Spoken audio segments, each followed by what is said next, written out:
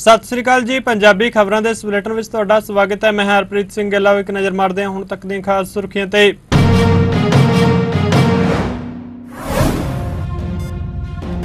ਪੰਜਾਬ ਦੇ ਮੁੱਖ ਮੰਤਰੀ ਭਗਵੰਤ ਮਾਨ ਨੇ ਜ਼ੀਰਾ ਵਿੱਚ ਲਾਲਜੀਤ ਭੁੱਲਰ ਲਈ ਕੀਤਾ ਚੋਣ ਪ੍ਰਚਾਰ, ਕਿਹਾ ਸੀ ਕੰਮ ਦੇ ਆਧਾਰ ਤੇ ਮੰਗ ਰਹੇ ਹਾਂ ਵੋਟ। ਕਾਂਗਰਸ ਅਤੇ ਅਕਾਲੀ ਦਲ ਨੂੰ ਲੱਗਿਆ ਝਟਕਾ, ਸਾਬਕਾ ਮੰਤਰੀ ਦੀ ਸਪੁੱਤਰੀ ਸਮੇਤ ਅੱਧਾ ਦਰਜਨ ਆਗੂ ਪਟਿਆਲਾ ਵਿੱਚ ਹੋਏ ਆਮ ਆਦਮੀ ਪਾਰਟੀ ਵਿੱਚ ਸ਼ਾਮਲ। ਜੋੜਾ ਮਾਜਰਾ ਤੇ ਵਰਸਟ ਨੇ ਪਾਰਟੀ ਵਿੱਚ ਆਉਣ ਤੇ ਕੀਤਾ ਸਾਰਿਆਂ ਦਾ ਸਵਾਗਤ। ਪੰਜਾਬ ਦੇ ਸਪੈਸ਼ਲ ਡੀਜੀਪੀ ਅਰਪਿਤ ਸ਼ੁਕਲਾ ਨੇ ਲੋਕ ਸਭਾ ਚੋਣਾਂ ਦੇ ਮੱਦੇਨਜ਼ਰ ਜਲੰਧਰ ਵਿੱਚ ਕੀਤੀ ਰੇਂਜ ਪੱਧਰੀ ਸੁਰੱਖਿਆ ਸਮੀਖਿਆ ਮੀਟਿੰਗ। ਕਿਹਾ, ਪੰਜਾਬ ਵਿੱਚ ਲੋਕ ਸਭਾ ਚੋਣਾਂ ਦੌਰਾਨ 80% ਪੁਲਿਸ ਬਲ ਅਤੇ ਕੇਂਦਰੀ ਬਲਾਂ ਦੀਆਂ 250 ਕੰਪਨੀਆਂ ਕੀਤੀਆਂ ਜਾਣਗੀਆਂ ਤੈਨਾਤ।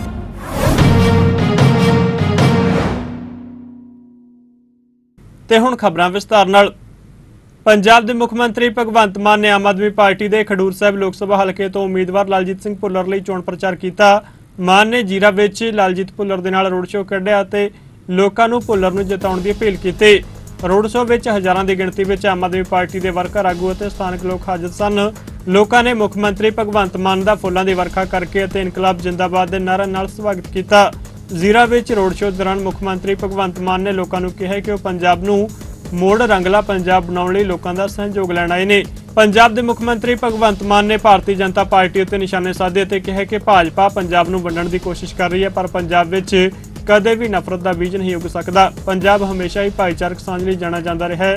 ਆਮ ਆਦਮੀ ਪਾਰਟੀ ਉਮੀਦਵਾਰ ਲਾਲਜੀਤ ਸਿੰਘ ਭੁੱਲਰ ਨੇ ਮੁੱਖ ਮੰਤਰੀ ਭਗਵੰਤ ਮਾਨ ਆਮ ਆਦਮੀ ਪਾਰਟੀ ਦੇ ਵਰਕਰਾਂ ਅਤੇ ਜੀਰਾ ਵਾਸੀਆਂ ਦਾ ਇਸ ਰੋਡ ਸ਼ੋਅ ਵਿੱਚ ਆਉਣ ਲਈ ਧੰਨਵਾਦ ਕੀਤਾ ਹੈ।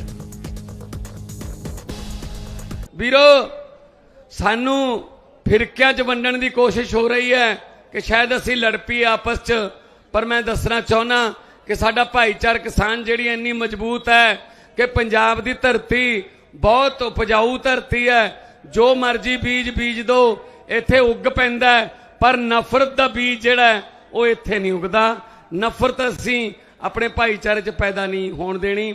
ਸੋ ਵੀਰੋ, ਬਹੁਤ ਸਾਰੇ ਉਮੀਦਵਾਰ ਖੜੇ ਨੇ। ਹਰੇਕ ਨੂੰ ਹੱਕ ਹੈ। ਭਾਰਤ ਦੇ ਸੰਵਿਧਾਨ ਵੱਲੋਂ ਹਰੇਕ ਨੂੰ ਹੱਕ ਹੈ ਕਿ ਉਹ ਆਪਣੀ ਇਲੈਕਸ਼ਨ ਲੜ ਸਕਦਾ ਹੈ।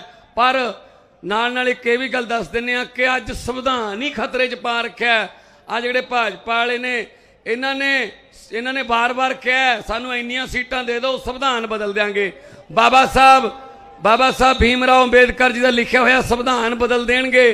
ਫਿਰ ਵੋਟਾਂ ਹੀ ਨਹੀਂ ਪੈਣੀਆਂ, ਫਿਰ ਬਸ ਕੱਲਾ ਸਿੱਧਾ ਹੀ ਰਾਸ਼ਟਰਪਤੀ ਬਣ ਜਾਊਗਾ ਇਹ।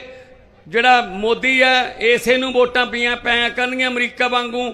ਬਾਕੀ ਸਾਰਾ ਫੈਡਰਲ ਸਟਰਕਚਰ, ਫੈਡਰਲ ਸਿਸਟਮ ਖਤਮ ਕਰ ਦੂਗਾ ਬਹੁਤ ਖਤਰਨਾਕ ਚਾਲਾਂ ਨੇ।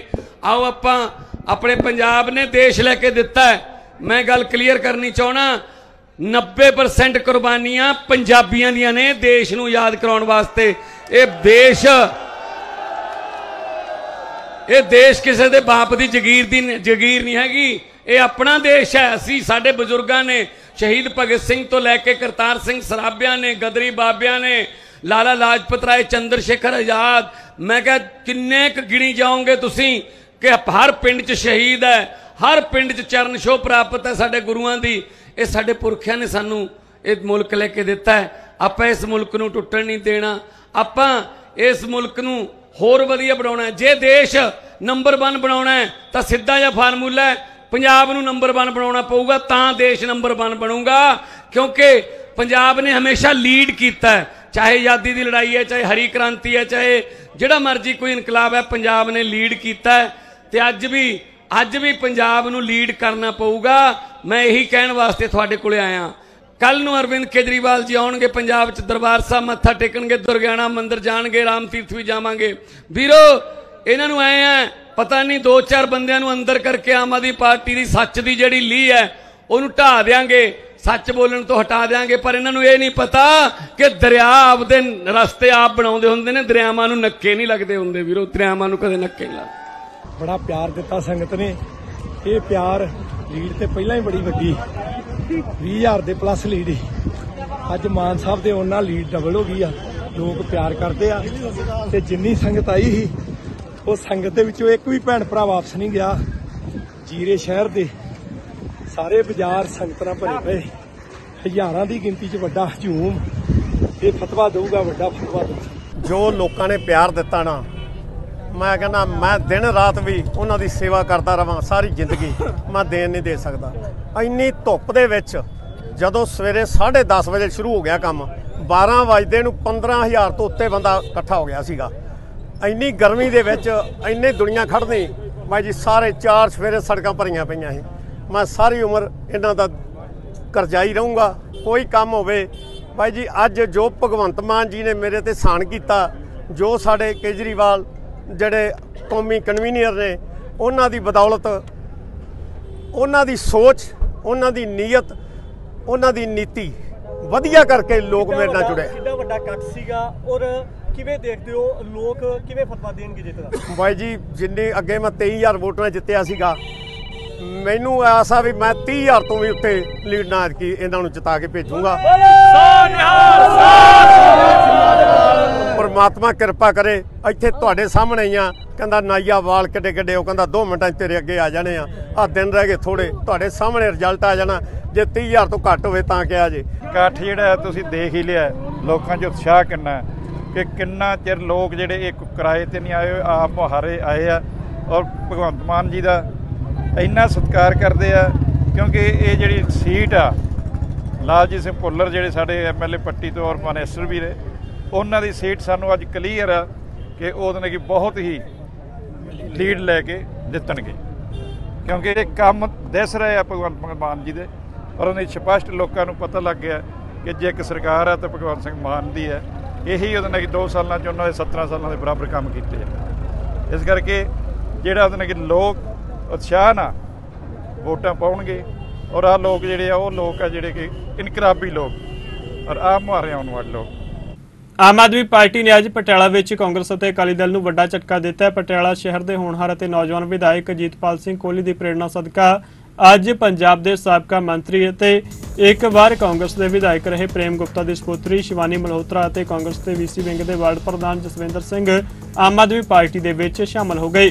ਇੱਥੇ ਹੀ ਬਸ ਨਹੀਂ, ਆਮ ਆਦਮੀ ਪਾਰਟੀ ਦਾ ਸੇਕ ਅਕਾਲੀ ਦਲ ਨੂੰ ਵੀ ਚੱਲਣਾ ਪਿਆ ਅਕਾਲੀ ਦਲ ਦੇ ਲੰਬੇ ਸਮੇਂ ਤੋਂ ਸਰਗਰਮ ਨੇਤਾ ਵੀਸੀ ਵਿੰਗ ਦੇ ਪ੍ਰਧਾਨ ਹਰਮੀਤ ਸਿੰਘ ਬਡੂੰਗਰ, ਗੋਬਿੰਦ ਬੈਦ ਸਾਬਕਾ ਐਮਸੀ ਅਤੇ ਸ਼ਾਮਲਾਲ ਖੱਤਰੀ ਅਮਰਿੰਦਰ ਸਿੰਘ ਤੇ ਹੋਰ ਆਗੂ ਆਮ ਆਦਮੀ ਪਾਰਟੀ ਦੇ ਵਿੱਚ ਸ਼ਾਮਲ ਹੋ ਗਏ। ਪੰਜਾਬ ਦੇ ਸੀਨੀਅਰ ਕੈਬਨਿਟ ਮੰਤਰੀ ਚੇਤਨ ਸਿੰਘ ਜੋੜਾ ਮਾਜਰਾ ਅਤੇ ਪੰਜਾਬ ਮੰਡੀ ਬੋਰਡ ਦੇ ਚੇਅਰਮੈਨ ਹਰਚੰਦ ਸਿੰਘ ਬਲਸਟ ਅਤੇ ਵਿਧਾਇਕ ਅਜੀਤਪਾਲ ਸਿੰਘ ਕੋਹਲੀ ਨੇ ਇੱਕ ਸਮਾਗਮ ਦੌਰਾਨ ਸਾਰਿਆਂ ਨੂੰ ਆਮ ਆਦਮੀ ਪਾਰਟੀ ਦੇ ਵਿੱਚ ਸ਼ਾਮਲ ਕਰਵਾਇਆ ਅਤੇ ਉਹਨਾਂ ਨੂੰ ਪਾਰਟੀ ਵਿੱਚ ਜੀ ਆਇਆਂ ਨੂੰ ਕਿਹਾ। ਇਸ ਮੌਕੇ ਆਗੂਆਂ ਨੇ ਕਿਹਾ ਕਿ ਅੱਜ ਜੋ ਹਨੇਰੀ ਆਮ ਆਦਮੀ ਪਾਰਟੀ ਦੀ ਚੱਲ ਰਹੀ ਹੈ, ਉਸ ਵਿੱਚ ਕਾਂਗਰਸ, ਭਾਜਪਾ ਅਤੇ ਅਕਾਲੀ ਦਲ ਉੱਡ ਜਾਵੇਗਾ। ਪੰਜਾਬ ਦੇ ਵਿੱਚ ਜਿਹੜੀ ਲੋਕ ਸਭਾ ਦੀ ਇਲੈਕਸ਼ਨ ਹੋਣ ਜਾ ਰਹੀ ਆ 13 ਦੀ 13 ਸੀਟਾਂ ਜੋ ਅਸੀਂ ਸਾਡੇ ਮੁੱਖ ਮੰਤਰੀ ਸਾਹਿਬ ਭਗਵੰਤ ਮਾਨ ਜੀ ਕਹਿੰਦੇ ਨੇ, ਉਹਨਾਂ ਤੇ ਮੋਹਰ ਜਿਹੜੇ ਸਾਡੇ ਸਤਿਕਾਰਯੋਗ ਸਾਡੇ ਭਰਾ ਜਿਹੜੇ ਨੇ ਅੱਜ ਪਾਰਟੀ ਜੁਆਇਨ ਕੀਤੀ ਆ, ਉਹ ਲਾ ਰਹੇ ਨੇ ਕਿਉਂਕਿ ਜਿੱਥੇ ਵੀ ਜਾਈਦਾ ਉੱਥੇ ਹੀ ਵੱਧ ਤੋਂ ਵੱਧ ਜਿਹੜੇ ਲੋਕ ਨੇ ਵੱਖ-ਵੱਖ ਪਾਰਟੀਆਂ ਨੂੰ ਛੱਡ ਕੇ ਜਿਹੜੀ ਆਮ ਆਦਮੀ ਪਾਰਟੀ ਆ, ਉਹਨੂੰ ਜੁਆਇਨ ਕਰ ਰਹੇ ਨੇ ਔਰ ਮਾਨ ਸਾਹਿਬ ਦੇ ਕੀਤੇ ਹੋਏ ਕੰਮਾਂ ਦੀ ਜਿੱਥੇ ਪ੍ਰਸ਼ੰਸਾ ਕਰ ਰਹੇ ਨੇ, ਉੱਥੇ ਪਾਰਟੀ ਨਾਲ ਮੋਢਾ ਨਾਲ ਮੋਢਾ ਲਾ ਕੇ ਜਿਹੜਾ ਚੱਲਣ ਦਾ, ਜਿਹੜਾ ਵਚਨਬੱਧਤਾ ਜਿਹੜੀ ਦੁਹਰਾਈ ਗਈ ਹੈ ਔਰ ਅਸੀਂ ਵੀ ਆਪਣੇ ਵੱਲੋਂ ਜਿੰਨਾ ਵੀ ਹੋ ਸਕੂਗਾ ਸਾਡੇ ਜਿੰਨੇ ਜਿੰਨੇ ਵੀ ਮੈਂਬਰਾਂ ਨੇ ਪਾਰਟੀ ਜੁਆਇਨ ਕੀਤੀ ਆ, ਉਹਨਾਂ ਨੂੰ ਮਾਨ ਸਤਿਕਾਰ ਹੈ ਜਿਹੜਾ ਹਮੇਸ਼ਾ ਮਿਲਦਾ ਰਹੂਗਾ। ਖਾਸ ਤੌਰ ਤੇ ਧੰਨਵਾਦ ਕਰਦਾ ਹਾਂ ਸਾਡੇ ਐਮਐਲਏ ਸਾਹਿਬ ਅਜੀਤ ਸਿੰਘ ਪਾਲ ਕੋਹਲੀ ਜੀ ਦਾ, ਜਿਹੜੇ ਬੜੇ ਪਿਆਰ ਨਾਲ ਸਾਰੇ ਪਟਿਆਲੇ ਦੇ ਲੋਕਾਂ ਨੂੰ ਆਪਣੇ ਨਾਲ ਜੋੜ ਰਹੇ ਨੇ। ਔਰ ਉਸ ਤੋਂ ਬਾਅਦ ਮੈਂ ਧੰਨਵਾਦ ਕਰਦਾ ਸਾਡੇ ਮੰਤਰੀ ਸਰਦਾਰ ਚੇਤਨ ਸਿੰਘ ਜੋੜਾ ਮਾਜਰੇ ਜੀ ਦਾ, ਕਿਉਂਕਿ ਬਹੁਤ ਭਾਰੀ ਕੈਂਪੇਨ ਦੇ ਵਿੱਚ ਜੋ ਲੱਗੇ ਹੋਏ ਨੇ। ਕਈ ਪ੍ਰੋਗਰਾਮ ਛੱਡਣੇ ਪੈਂਦੇ ਨੇ ਜਦੋਂ ਕੋਈ ਇਦਾਂ ਹੋਵੇ, ਪਰੰਤੂ ਸਾਨੂੰ ਮਾਣ ਹੈ ਇਸ ਕਰਕੇ ਇੱਥੇ ਆਏ ਨੇ, ਸਾਰਿਆਂ ਨੂੰ ਸ਼ਾਮਲ ਕਰਾਉਣ ਵਾਸਤੇ, ਕਿਉਂਕਿ ਇਹ ਸਮਝਦੇ ਨੇ ਕਿ ਜਿਹੜੇ ਬੰਦੇ ਸ਼ਾਮਲ ਹੋਣ ਆਏ ਨੇ, ਉਹਨਾਂ ਦੀ ਵੈਲਿਊ ਕੀ ਆ, ਉਹ ਪਾਰਟੀ ਵਾਸਤੇ ਕੀ ਯੋਗਦਾਨ ਪਾ ਸਕਦੇ ਨੇ। ਇਸ ਲਈ ਜਿੰਨੇ ਵੀ ਸਾਥੀ ਸਾਡੇ ਸ਼ਾਮਲ ਹੋਏ ਨੇ, ਸ਼ਿਵਾਨੀ ਜੀ ਔਰ ਹੋਰ ਬਡੂੰਗਰ ਸਾਹਿਬ ਦੇ, ਪੋਤਰਾ ਸਾਹਿਬ, ਹੋਰ ਜਿੰਨੇ ਵੀ, ਸਾਰਿਆਂ ਦਾ ਅਸੀਂ ਆਮ ਆਦਮੀ ਪਾਰਟੀ ਵੱਲੋਂ, ਸਰਦਾਰ ਭਗਵੰਤ ਸਿੰਘ ਮਾਨ ਵੱਲੋਂ, ਸਾਡੇ ਪਾਰਟੀ ਦੇ ਸੁਪਰੀਮੋ ਅਰਵਿੰਦ ਕੇਜਰੀਵਾਲ ਸਾਹਿਬ ਵੱਲੋਂ ਅਸੀਂ ਸਵਾਗਤ ਕਰਦੇ ਹਾਂ। ਔਰ ਆਮ ਆਦਮੀ ਪਾਰਟੀ ਵੱਲੋਂ ਮੈਂ ਵਿਸ਼ਵਾਸ ਦਿਵਾਉਣਾ ਕਿ ਇਹਨਾਂ ਨੂੰ ਇੱਕ ਪਰਿਵਾਰਕ ਮਾਹੌਲ ਔਰ ਸਮਾਜ ਦੀ ਸੇਵਾ ਕਰਨ ਦਾ ਮੌਕਾ ਇਸ ਪਾਰਟੀ ਦੇ ਵਿੱਚ ਮਿਲੂਗਾ। ਅਸੀਂ ਸਾਰਿਆਂ ਨੂੰ ਆਪਣੇ ਪਰਿਵਾਰ ਦੇ ਨਾਲ ਜੋੜ ਕੇ ਹੋਰ ਅੱਗੇ ਵਧਾਵਾਂਗੇ। 2024 ਦੀਆਂ ਲੋਕ ਸਭਾ ਚੋਣਾਂ ਲਈ ਸਾਰੀਆਂ ਸਿਆਸੀ ਪਾਰਟੀਆਂ ਜ਼ੋਰ-ਸ਼ੋਰ ਨਾਲ ਚੋਣ ਪ੍ਰਚਾਰ ਕਰ ਰਹੀਆਂ ਨੇ। ਜੇਕਰ ਜਲੰਧਰ ਦੀ ਗੱਲ ਕਰੀਏ ਤਾਂ ਇਹ ਫਿਲਹਾਲ ਹੌਟ ਸੀਟ ਬਣਿਆ ਹੋਇਆ ਹੈ। ਕਾਂਗਰਸੀ ਉਮੀਦਵਾਰ ਚਰਨਜੀਤ ਸਿੰਘ ਚੰਨੀ ਜਲੰਧਰ ਦੇ ਕਰਤਾਰਪੁਰ ਹਲਕੇ ਵਿੱਚ ਚੋਣ ਪ੍ਰਚਾਰ ਕਰਨ ਪਹੁੰਚੇ। ਇਸ ਮੌਕੇ ਹਲਕਾ ਕਰਤਾਰਪੁਰ ਦੇ ਇੰਚਾਰਜ, ਸੇਵਾ ਮੁਕਤ ਡੀਸੀਪੀ ਰਜਿੰਦਰ ਉਹਦੇ ਨਾਲ ਮੌਜੂਦ ਸਨ। ਪੰਜਾਬ ਦੇ ਮੁੱਖ ਚੋਣ ਅਧਿਕਾਰੀ ਸਿਬਨ ਸੀ ਵੱਲੋਂ ਉਹਨਾਂ ਦੇ ਪੌਣਛਾਤਵਾਦੀ ਹਮਲੇ ਸੰਬੰਧੀ ਦਿੱਤੇ ਗਏ ਬਿਆਨ ਨੂੰ ਚੋਣ ਜ਼ਾਬਤੇ ਦੀ ਉਲੰਘਣਾ ਕਰਾਰ ਦਿੱਤੇ ਜਾਣ ਬਾਰੇ ਚੰਨੀ ਨੇ ਕਿਹਾ ਕਿ ਜਦੋਂ ਚੋਣ ਕਮਿਸ਼ਨ ਵੱਲੋਂ ਉਹਨਾਂ ਨੂੰ ਨੋਟਿਸ ਭੇਜਿਆ ਜਾਵੇਗਾ ਤਾਂ ਉਹ ਉਸ ਮੁਤਾਬਿਕ ਜਵਾਬ ਦੇਣਗੇ। ਚਰਨਜੀਤ ਸਿੰਘ ਚੰਨੀ ਨੇ ਕਿਹਾ ਕਿ ਉਹਨਾਂ ਲੀਡਰਾਂ ਨੂੰ ਸ਼ਰਮ ਆਉਣੀ ਚਾਹੀਦੀ ਹੈ ਜਿਨ੍ਹਾਂ ਨੇ ਬੀਬੀ ਜਗੀਰ ਕੌਰ ਅਤੇ ਉਹਨਾਂ ਦੀ ਇੱਕ ਵੀਡੀਓ ਵਾਇਰਲ ਕੀਤੀ ਅਤੇ ਉਸ ਸੰਬੰਧੀ ਗਲਤ ਬਿਆਨਬਾਜ਼ੀ ਕੀਤੀ ਹੈ ਮੇਰੀ ਗੱਲ ਸੁਣੋ ਨੋਟਿਸ ਆਏਗਾ ਤਾਂ ਮੈਂ ਜਵਾਬ ਦੇ ਦੂੰਗਾ ਜਿਹੋ ਜਿਹਾ ਨੋਟਿਸ ਆਏਗਾ ਜਵਾਬ ਦੇ ਦਾਂਗੇ ਹੋਰ ਦੱਸੋ सर पवन कुमार टेनू का जो बयान आया है क्योंकि बीबी जगीत कौर ने तो अपना स्टैंड क्लियर कर दिया कहते हैं कांग्रेस और अकाली एक साथ हो गए हैं ये आम आदमी पार्टी को कराने के चले हैं ਸ਼ਰਮ ਕਰਨੀ ਚਾਹੀਦੀ ਨਾ ਲੋਕਾਂ ਨੂੰ ਜੇ ਮੇਰਾ ਨਹੀਂ, ਉਹਦਾ ਧਾਰਮਿਕ ਲੇ- ਔਰਤ ਹੈ, ਕਿੱਡੀ ਬੜੀ ਸ਼ਖਸੀਅਤ ਹੈ ਐਸਜੀਪੀਸੀ ਦੇ ਪ੍ਰਧਾਨ ਰਹੇ, ਫਿਰ ਵੀ ਇਹ ਲੋਕ ਗਲਤ ਗੱਲਾਂ ਬੋਲੀ ਜਾਂਦੇ। ਮੈਂ ਉਹਨਾਂ ਨੂੰ ਸਿਰ ਝੁਕਾ ਕੇ ਉਹਨਾਂ ਦੇ ਹੱਥਾਂ ਨੂੰ ਆਪਣੇ ਮੱਥੇ ਨਾਲ ਲਗਾਇਆ।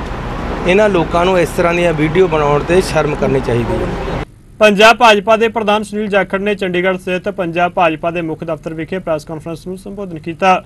ਇਸ ਮੌਕੇ ਉਹਨਾਂ ਦਾਅਵਾ ਕੀਤਾ ਕਿ ਕੇਂਦਰ ਦੀ ਭਾਜਪਾ ਸਰਕਾਰ ਕਿਸਾਨਾਂ ਪ੍ਰਤੀ ਗੰਭੀਰ ਹੈ।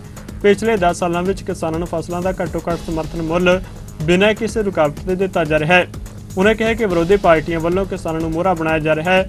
ਉਹਨਾਂ ਕਿਸਾਨ ਆਗੂ ਨੇ ਕਿਹਾ ਕਿ ਭਾਜਪਾ ਦਾ ਵਿਰੋਧ ਕਰੋ, ਪਰ ਕੋਈ ਇੱਕ ਪਾਰਟੀ ਤਾਂ ਚੁਣ ਲਓ ਅਤੇ ਨਾਲ ਹੀ ਉਸ ਪਾਰਟੀ ਲਈ ਵੀ ਕੁਝ ਕਰੋ। ਇਸ ਤੋਂ ਇਲਾਵਾ ਭਾਜਪਾ ਪ੍ਰਧਾਨ ਜਾਖੜ ਨੇ ਕਿਹਾ ਕਿ ਕੇਂਦਰ ਸਰਕਾਰ ਕਿਸਾਨਾਂ ਨੂੰ ਕਿਸਾਨ ਸਨਮਾਨ ਨਿਧੀ ਦੇ ਰਹੀ ਹੈ। ਇਸ ਯੋਜਨਾ ਵਿੱਚ ਦੇਸ਼ ਭਰ ਦੇ 11 ਕਰੋੜ ਕਿਸਾਨ ਰਜਿਸਟਰਡ ਨੇ ਹਰ ਸਾਲ ਇਹ ਗਿਣਤੀ ਵਧਦੀ ਜਾ ਰਹੀ ਹੈ। ਉਹਨਾਂ ਕਿਹਾ ਕਿ ਪੰਜਾਬ ਦੇ ਕਿਸਾਨਾਂ ਦੀ ਗਿਣਤੀ ਇਸ ਵਿੱਚ 23 ਲੱਖ ਸੀ, ਪਰ ਇਸ ਵਿੱਚ ਸਿਰਫ 8 ਲੱਖ ਕਿਸਾਨਾਂ ਨੂੰ ਹੀ ਸਕੀਮ ਦਾ ਲਾਭ ਮਿਲ ਰਿਹਾ ਹੈ। 2014 ਦੇ ਅੰਦਰ ਸਰ, ਕਣਕ ਦੀ ਐਮਐਸਪੀ ਦੀ ਪੇਮੈਂਟ ਤੇ ਝੋਨੇ ਦੀ ਜਿਹੜੀ ਪੇਮੈਂਟ ਹੈ, ਦੋਨੋਂ ਮਿਲਾ ਕੇ 32211 ਕਰੋੜ ਰੁਪਏ ਪੰਜਾਬ ਦੇ ਕਿਸਾਨਾਂ ਨੂੰ ਆ ਪੇਮੈਂਟ ਹੋਈ ਸੀ। 32211 ਕਰੋੜ ਰੁਪਏ 10 ਸਾਲ ਹੋ ਗਏ। 10 ਫਸਲਾਂ ਚੱਕੀਆਂ ਗਈਆਂ। 2024 ਉਹਦੇ ਵਿੱਚ 23 ਵਾਲੀ ਫਸਲ ਝੋਨੇ ਵਾਲੀ, ਕਿਉਂਕਿ ਪਿਛਲੀ ਫਸਲ ਗਿਣੀ ਹੈ ਨਾ, ਮੈਂ ਅੱਜ ਤਾਈਂ ਤਾਂ ਅੱਗੇ ਵਾਲੀ ਤਾਂ ਦੇਖਾਂਗੇ 24 ਦੇ ਜਦੋਂ ਆਊਗੀ। ਉਹ ਦੋਨੋਂ ਫਸਲਾਂ ਮਿਲਾ ਕੇ ਇਸ 24 ਦੇ ਸਾਲ ਦੇ ਅੰਦਰ 70385 ਕਰੋੜ ਰੁਪਏ ਸਨ। ਕਿੱਥੇ 32000 ਕਰੋੜ ਰੁਪਏ, ਕਿੱਥੇ 70000 ਕਰੋੜ ਰੁਪਏ? ਦੁਗਣੀ ਕਿੰਨੀ ਹੁੰਦੀ ਹੈ ਜੀ 32 ਦੀ? 64000 ਤੇ ਪੇਮੈਂਟ ਹੋਈ ਹੈ 70000 ਕਰੋੜ ਰੁਪਏ। ਫਿਰ ਆਮਦਨ ਕਿਵੇਂ ਦੁਗਣੀ ਹੋਣ ਦਾ ਕੋਈ ਹੋਰ ਫਾਰਮੂਲਾ ਹੈ ਤਾਂ ਮੈਨੂੰ ਉਹ ਦੱਸ ਦਿਓ ਸਭ ਮੇਰੇ ਕਹਿਣ ਦਾ ਭਾਵ ਹੈ ਵੀ ਸਰਕਾਰ ਨੇ ਜਿਹੜਾ ਉਪਰਾਲਾ ਕੀਤਾ ਸੀ ਵੀ ਕਿਸਾਨ ਦੀ ਆਮਦਨ ਵਧਾਈ ਜਾਵੇ, ਉਹਦੇ ਤੇ ਆਪਣੇ ਉਸ ਟੀਚੇ ਤੇ ਪਹੁੰਚੇ ਹੈ। ਉਹਦੇ 'ਚ ਕਿਸਾਨਾਂ ਦੀ ਮਿਹਨਤ, ਕਿਸਾਨਾਂ ਨੇ ਫਸਲ ਵਧਾਈ ਜ਼ਮੀਨ ਤਾਂ ਉਨੀ ਹੈ ਸਭ ਉਹੀ 30 32 ਲੱਖ ਹੈਕਟੇਅਰ ਜਿਹੜੀ ਆਪਾਂ ਜਿਹਦੇ ਤੇ ਕਰੀ ਜਾਂਦੇ ਆ ਬਿਜਾਈ, ਉਹ ਤਾਂ ਸਾਰੀ ਇੱਕ ਇੱਕ ਕੋਈ ਖੂੜ ਹੀ ਨਹੀਂ ਛੱਡਦੇ ਆਪਾਂ। ਉੱਥੇ ਉਨੀ ਫਸਲ ਹੈ, ਉਹੀ ਹੈ। ਉਹਦੇ ਉੱਤੇ ਕਿਸਾਨਾਂ ਦੀ ਮਿਹਨਤ ਕਰਕੇ ਕਦੇ ਝਾੜ ਘਟ ਜਾਂਦਾ ਹੈ, ਕਦੇ ਕੁਝ ਘਟ ਵੱਧ ਜਾਂਦਾ ਹੈ। ਕਿ 1 ਕਰੋੜ 30 ਲੱਖ ਹੈ ਇੱਕ ਵਾਰੀ। ਪਿਛਲੇ 2-3 ਸਾਲ ਪਹਿਲਾਂ 1 ਕਰੋੜ 17 ਲੱਖ 'ਚ ਰਹਿ ਗਈ ਸੀ ਕਣਕ, ਐਤਕੀ 30 ਨੂੰ ਹੱਥ ਪਾ ਲਿਆ ਆਪਾਂ। ਪਰ ਆ ਕਿਸਾਨਾਂ ਦੀ ਬਦੌਲਤ ਹੈ। 13-14 ਦੇ ਬਜਟ ਦੇ ਅੰਦਰ ਲਾਸਟ ਜਿਹੜਾ ਬਜਟ ਯੂਪੀਏ ਸਰਕਾਰ ਨੇ ਪੇਸ਼ ਕੀਤਾ ਸੀਗਾ, ਉਹ ਹੋਊਗਾ 21900 ਕਰੋੜ ਰੁਪਏ ਦਾ ਰੱਖਿਆ ਸੀ। 21900 ਕਰੋੜ ਰੁਪਏ ਆ ਜਿਹੜਾ ਹੁਣ 23-24 ਵਾਲਾ ਬਜਟ ਆਇਆ ਹੈ, ਇਹਦੇ ਵਿੱਚ 1 ਲੱਖ ਹੋਰ ਜੋੜ ਦਿਓ। 1 ਲੱਖ 25 ਹਜ਼ਾਰ ਕਰੋੜ ਰੁਪਏ ਦਾ ਬਜਟ ਪੇਸ਼ ਹੋਇਆ ਸਾਹਿਬ। ਕਿਸ ਹਿਸਾਬ ਨਾਲ ਕੋਈ ਨੁਕਤਾਚੀਨੀ ਕਰਦਾ ਹੈ ਕਿ ਨਹੀਂ ਕਰਦਾ, ਕਿਉਂਕਿ ਨੁਕਤਾਚੀਨੀ ਚਲਦੀ ਰਹਿਣੀ ਹੈ ਸਾਹਿਬ। ਜਦੋਂ ਤਾਈਂ ਆਪੋਜੀਸ਼ਨ ਨੇ ਆਪੋਜੀਸ਼ਨ ਦਾ ਰੋਲ ਹੁੰਦਾ ਬਿਹਤਰ ਹੋਵੇ ਆਪੋਜੀਸ਼ਨ ਕਿਸੇ ਮੁੱਦਿਆਂ ਤੇ ਕਰੇ, ਪਰ ਆਪੋਜੀਸ਼ਨ ਨੇ ਕਿਸਾਨਾਂ ਨੂੰ ਮੋਹਰਾ ਬਣਾ ਲਿਆ। ਉਹਨਾਂ ਨੂੰ ਇਸਤੇਮਾਲ ਕਰੀ ਜਾਂਦੇ ਬਹਿਕਾ ਕੇ। ਜਲੰਧਰ ਦੇ ਸ਼੍ਰੀ ਗੁਰੂ ਰਵਿਦਾਸ ਚੌਂਕ ਵਿਖੇ ਆਮ ਆਦਮੀ ਪਾਰਟੀ ਵੱਲੋਂ ਮੁੱਖ ਚੋਣ ਦਫ਼ਤਰ ਖੋਲ੍ਹਿਆ ਗਿਆ ਪੰਜਾਬ ਦੇ ਕੈਬਨਿਟ ਮੰਤਰੀ ਬਲਕਾਰ ਸਿੰਘ ਅਤੇ ਉਮੀਦਵਾਰ ਪਵਨ ਕੁਮਾਰ ਟੀਨੂ ਵੱਲੋਂ ਰਿਬਨ ਕੱਟ ਕੇ ਇਸ ਦਫ਼ਤਰ ਦਾ ਉਦਘਾਟਨ ਕੀਤਾ ਗਿਆ। ਇਸ ਮੌਕੇ ਦਫ਼ਤਰ ਵਿੱਚ ਸ਼੍ਰੀ ਸੁਖਮਨੀ ਸਾਹਿਬ ਜੀ ਦੇ ਪਾਠ ਦੇ ਭੋਗ ਪਾਏ ਗਏ। ਭੋਗ ਉਪਰੰਤ ਲੋਕ ਸਭਾ ਚੋਣਾਂ ਵਿੱਚ ਆਮ ਆਦਮੀ ਪਾਰਟੀ ਦੇ ਜਲੰਧਰ ਤੋਂ ਉਮੀਦਵਾਰ ਪਵਨ ਕੁਮਾਰ ਟੀਨੂ ਨੇ ਮੀਡੀਆ ਨਾਲ ਗੱਲਬਾਤ ਕੀਤੀ ਅਤੇ ਕਾਂਗਰਸ ਦੇ ਉਮੀਦਵਾਰ ਚਰਨਜੀਤ ਸਿੰਘ ਚੰਨੀ ਉੱਤੇ ਤਿੱਖੇ ਨਿਸ਼ਾਨੇ ਸਾਧੇ। ਅੱਜ ਲੋਕ ਸਭਾ ਹਲਕਾ ਜਲੰਧਰ ਦਾ ਆਮ ਆਦਮੀ ਪਾਰਟੀ ਦਾ ਦਫ਼ਤਰ ਖੋਲਿਆ ਗਿਆ। ਗੁਰੂ ਰਵਿਦਾਸ ਚੌਂਕ ਸਾਹਮਣੇ ਕਈ ਹਸਪੀਟਲ ਇਹਦਾ ਉਦਘਾਟਨ ਮਾਨਯੋਗ ਸਰਦਾਰ ਬਲਕਾਰ ਸਿੰਘ ਜੀ, ਕੈਬਨਿਟ ਮੰਤਰੀ ਸਾਹਿਬ ਨੇ ਕੀਤਾ। ਮਹਾਰਾਜ ਦਾ ਓਟ ਆਸਰਾ ਲੈਣ ਉਪਰੰਤ ਅਰਦਾਸ ਕਰਾ ਕੇ ਇਹ ਦਫ਼ਤਰ ਦਾ ਉਦਘਾਟਨ ਕੀਤਾ ਗਿਆ। ਸਾਰੇ ਹਲਕਾ ਇੰਚਾਰਜ ਸਾਹਿਬਾਨ, ਜ਼ਿਲ੍ਹਾ ਪ੍ਰਧਾਨ ਸਾਹਿਬਾਨ ਤੇ ਹੋਰ ਜਿਹੜੇ ਜ਼ਿੰਮੇਵਾਰ ਪਾਰਟੀ ਦੇ ਲੀਡਰ ਆ ਉਹ ਸਾਰੇ ਸ਼ਾਮਲ ਹੋਏ ਆ। ਇਸ ਦਫ਼ਤਰ ਚੋਂ ਸਾਰੇ ਲੋਕ ਸਭਾ ਦਾ ਕੈਂਪੇਨ ਦਾ ਕੰਮ ਚੱਲੇਗਾ। ਮੀਟਿੰਗਸ ਫਿਕਸ ਕਰਨੀਆਂ, ਮੀਡੀਆ ਨਾਲ ਰੂਬਰੂ ਹੋਣਾ। ਇਸ ਦਫ਼ਤਰ 'ਚੋਂ ਅਸੀਂ ਹਰਭਜਨ ਸਿੰਘ ਜੀ ਨੂੰ ਤੇ ਗੁਰਚਰਨ ਸਿੰਘ ਚੰਨੀ ਜੀ ਨੂੰ ਇਸ ਦਫ਼ਤਰ ਵਿੱਚ ਬੈਠਣਗੇ ਤੇ ਉਹ ਸਾਰਾ ਇੱਥੋਂ ਤੁਹਾਡੇ ਨਾਲ ਵੀ ਤੇ ਪਾਰਟੀ ਲੀਡਰਸ਼ਿਪ ਨਾਲ ਵੀ ਡੀਲ ਕਰਨਗੇ। ਮੈਨੂੰ ਤਾਂ ਬੜੀ ਹੈਰਾਨੀ ਤੇ ਦੁਖਦਾਈ ਗੱਲ ਲੱਗੀ ਹੈ ਕਿ ਜਲੰਧਰ ਤੋਂ ਕਾਂਗਰਸ ਦੇ ਉਮੀਦਵਾਰ ਚੰਨੀ ਹੋਰਾਂ ਨੇ ਕਿਹਾ ਕਿ ਫੌਜੀ ਸਟੰਟ ਕਰਦੇ ਆ।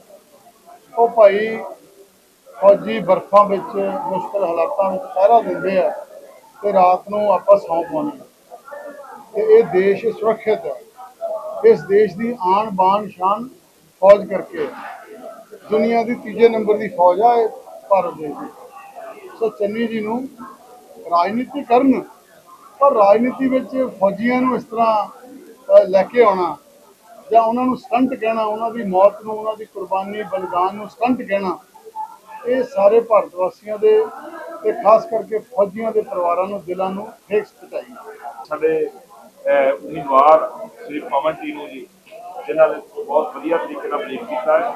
ਅੱਜ ਅਸੀਂ ਜਿਹੜਾ ਗੁਰੂ ਮਹਾਰਾਜ ਦਾ ਗੁਰਦਾਸ ਸਾਹਿਬ ਲਾ ਕੇ ਅੱਜ ਅਸੀਂ ਦਫ਼ਤਰ ਸ਼ੁਰੂਆਤ ਕੀਤਾ ਹੈ। ਅਸੀਂ ਆਪਣੇ ਇੰਚਾਰਜ ਵਗੈਰਾ ਲਾਏ ਜਿਹੜਾ ਭਾਈ ਸਿੰਘ ਸੈਕਟਰੀ ਜੀ ਔਰ ਨਾਲ ਦੇ ਨਾਲ ਸਾਥੀ ਸਾਰੀਆਂ ਟੀਮਾਂ ਹੋਣਗੀਆਂ ਔਰ ਪੂਰਾ ਜਿਹੜਾ ਜ਼ਿਲ੍ਹੇ ਦਾ ਕੰਮ ਇੱਥੋਂ ਦੇਖਿਆ ਜਾਵੇਗਾ। ਔਰ ਪਰਮਾਤਮਾ ਅੱਗੇ ਇਹੀ ਅਰਦਾਸ ਬੇਨਤੀ ਗੁਰੂ ਮਹਾਰਾਜ ਚੜ੍ਹਦੀ ਕਲਾ ਦੇ ਵਿੱਚ ਰੱਖੇਗਾ।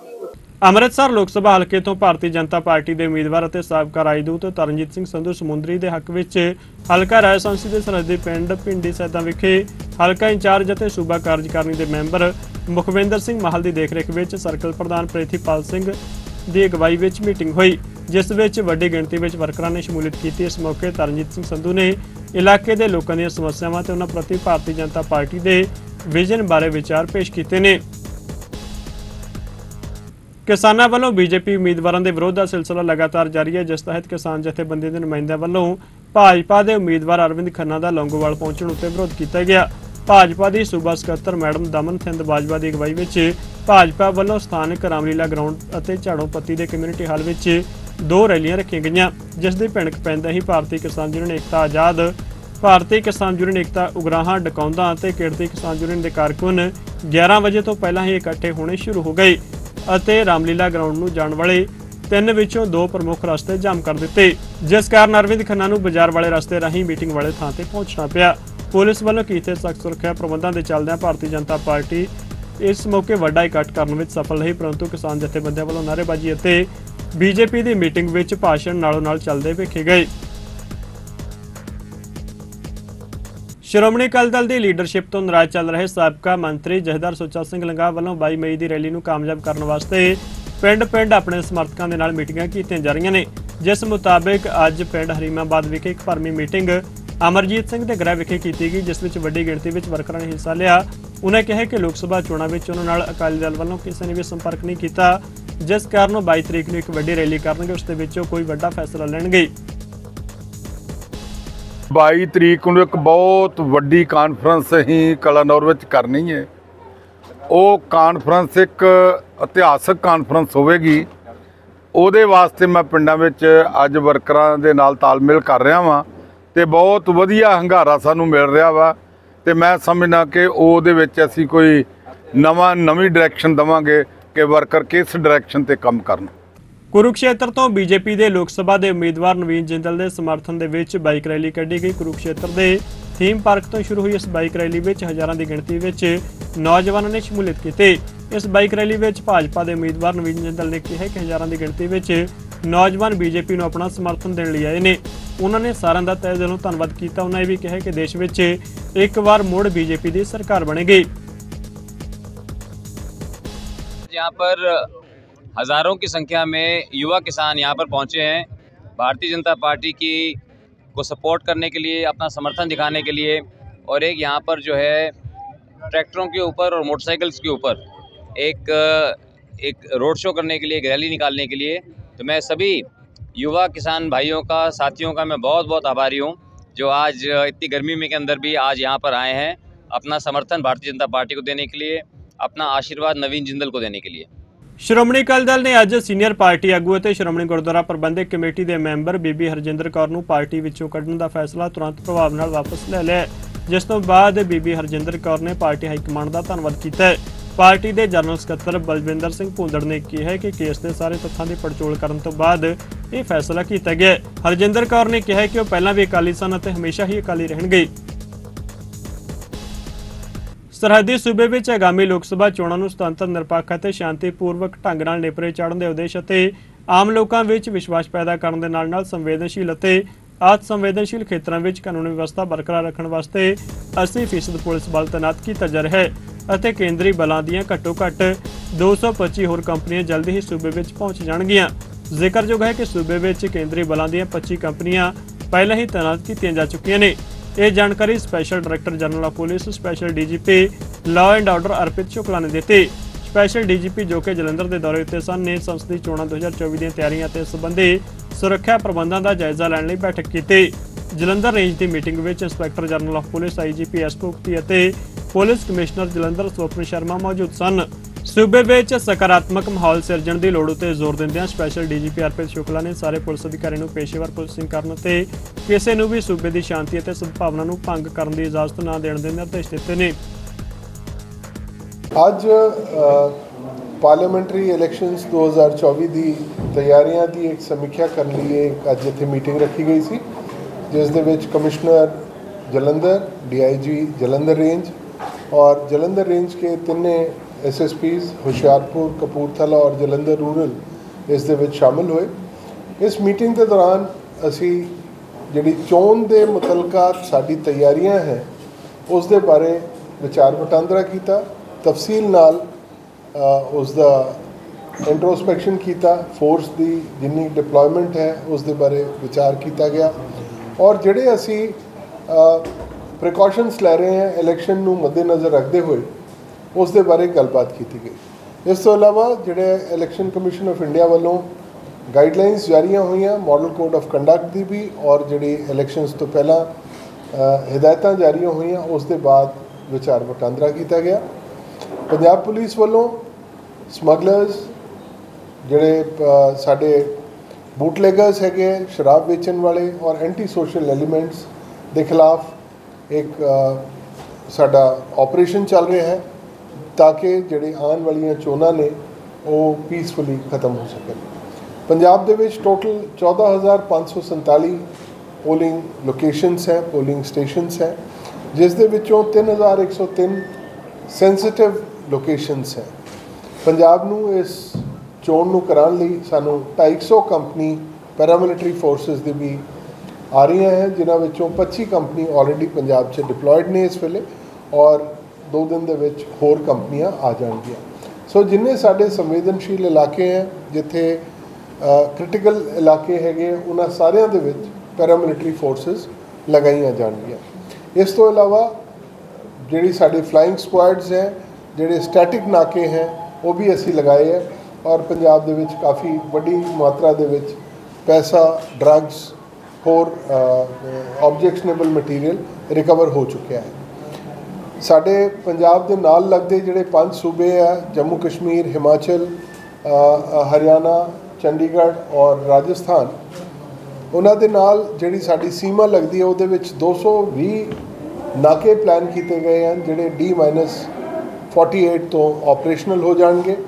ਸਾਡੇ ਜਿਹੜੇ ਸੀਮਾਵਰਤੀ ਜ਼ਿਲ੍ਹਿਆਂ ਦੇ ਐਸਐਸਪੀਜ਼ ਹੈ, ਉਹਨਾਂ ਦੀ ਮੀਟਿੰਗ ਵੀ ਉਹਨਾਂ ਦੇ ਕਾਊਂਟਰ ਪਾਰਟਸ ਨਾਲ ਹੋ ਗਈ ਹੈ, ਤਾਂ ਕਿ ਦੋਵੇਂ ਪਾਸਿਓਂ ਸੁਰੱਖਿਆ ਦੇ ਪੂਰੇ ਪੁਖਤਾ ਪ੍ਰਬੰਧ ਕੀਤੇ ਜਾ ਸਕਣ।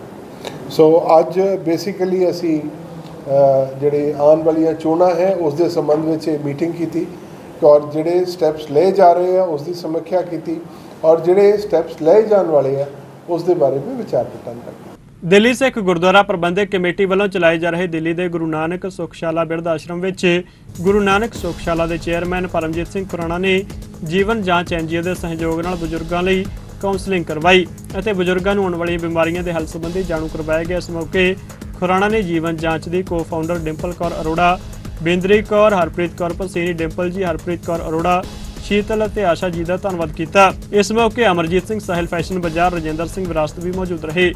ਪਰਮਜੀਤ ਸਿੰਘ ਖੁਰਾਣਾ ਨੇ ਐਨਜੀਓ ਦੇ ਨੁਮਾਇੰਦਿਆਂ ਦਾ ਧੰਨਵਾਦ ਕੀਤਾ।